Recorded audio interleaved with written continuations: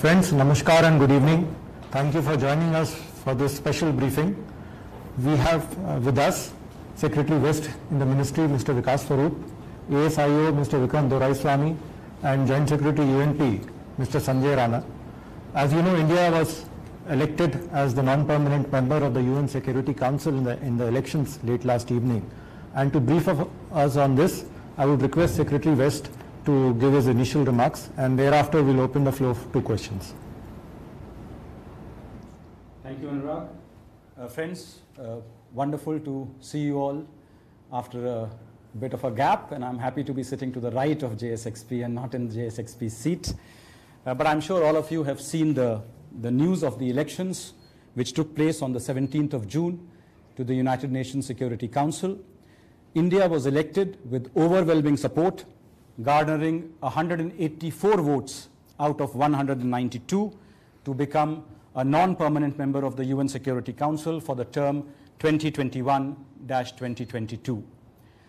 India was elected unopposed as we were the sole candidate for the Asia Pacific seat. However, this was made possible because Afghanistan had withdrawn in our favor in 2013, for which we thank the government of Afghanistan. The strong support by the entire UN membership for India's election demonstrates the goodwill that India enjoys in the UN and the confidence that the international community has reposed in India's capability to contribute to the work of the Council. Our two-year term will begin on the 1st of January 2021.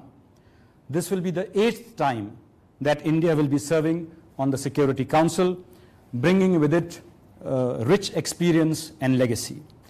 We look forward to being a voice for all those who are not represented in the Council. As a founding member of the United Nations, India is fully committed to the principles and purposes of the UN Charter. As the world's largest democracy, a major contributor to UN peacekeeping operations, and a strong votary of the rights of developing countries, India will bring its own unique strengths and perspective to the Security Council.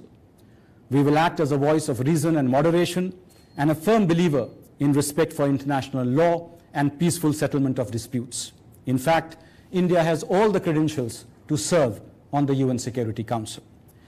Our work in the Security Council will be guided by Honorable Prime Minister's call for a reformed multilateralism and the dynamic 5S vision for foreign policy, namely Samman, respect, Samvad, dialogue, Sahyog, cooperation, and Shanti, peace, to create conditions for universal prosperity, Samriddhi.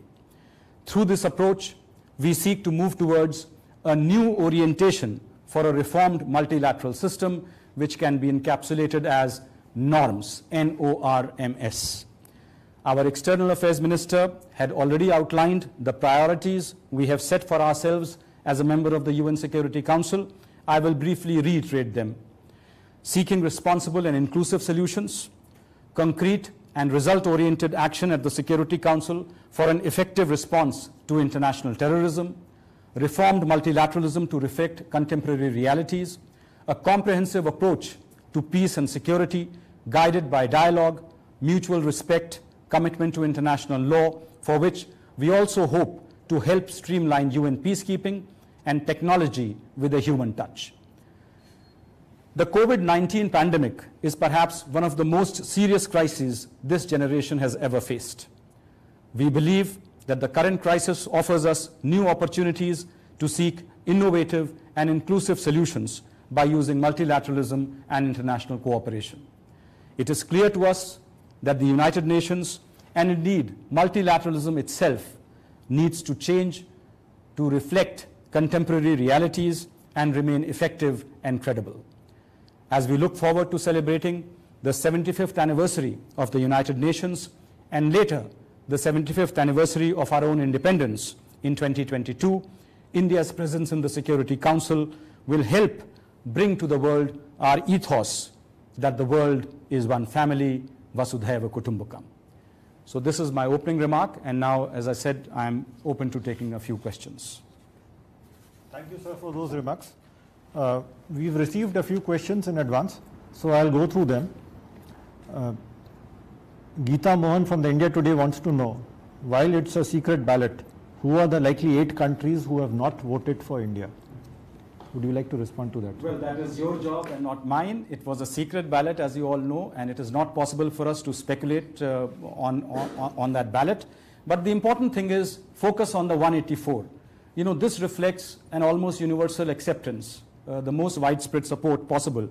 And also don't forget that we had the complete endorsement of the Asia Pacific group. We were the only candidate for that, for that uh, sole seat. And I think the number of votes that we have received far exceeded the minimum threshold required. You know, the threshold to become a member of the Security Council is you have to get a two-thirds majority, which is 128 votes. In our case, we not only got the 128 votes, we got many more in excess of that, reaching 184. And I think this was one of the best performances ever by India in a UN Security Council election. So I would leave it at that. There's a similar question from Akhilesh Suman of Rajya Sabha TV, so I will not read that. Huma Siddiqui from the Financial Times Online wants to know what is the importance of being a non-permanent member of the UN Security Council. Does it or will it help in becoming a permanent member?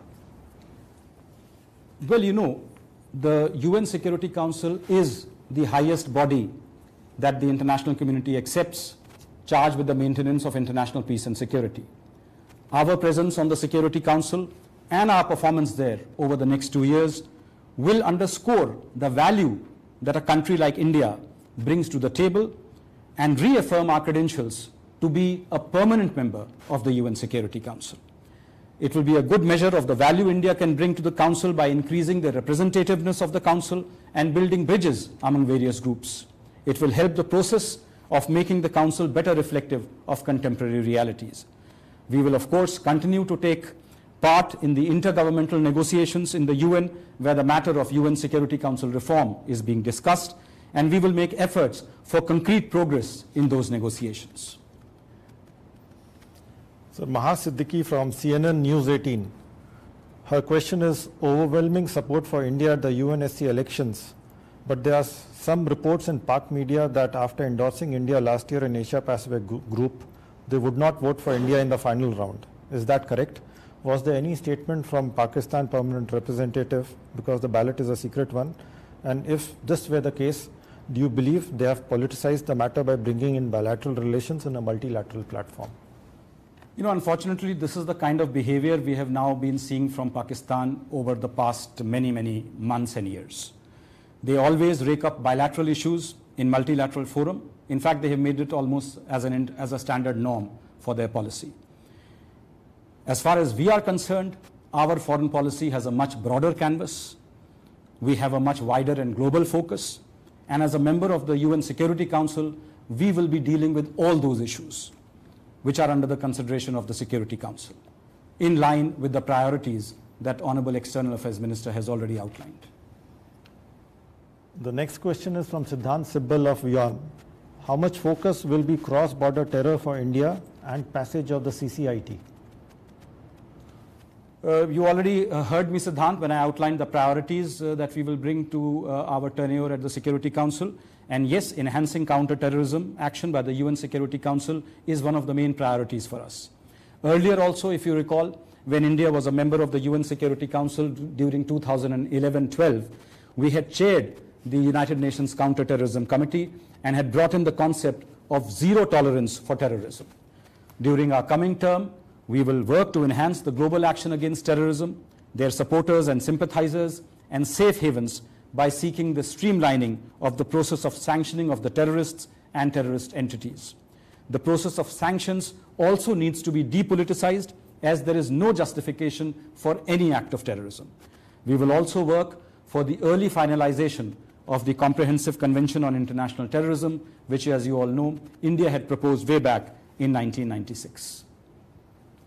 There's another question from Siddhant Sibbal. Is UNSC an archaic body which can't bring a statement to on COVID? Uh, look, COVID-19 is the, is the biggest pandemic, uh, biggest crisis uh, faced by, by our generation. And in the UN system, it is being dealt mainly by the World Health Organization, which is the key technical body empowered uh, to act as the voice of the global community in this regard. However, at the same time, we have clearly said that the UN system needs reform urgently, and all its bodies, including the WHO and the Security Council, need to be reformed to reflect contemporary realities. This is the reason why Honorable Prime Minister has called for a reformed multilateralism. So the point is not to reject everything, but to see what is there and to make it better. So Madhurendra from News Nation wants to know what was China's and Pakistan's position on India's election to UNSC? Uh, Madhuren, this is a question you need to ask China and Pakistan. I'm not their spokesman. You should better ask them. As far as I'm concerned, we had overwhelming support of 184 countries present and voting that day.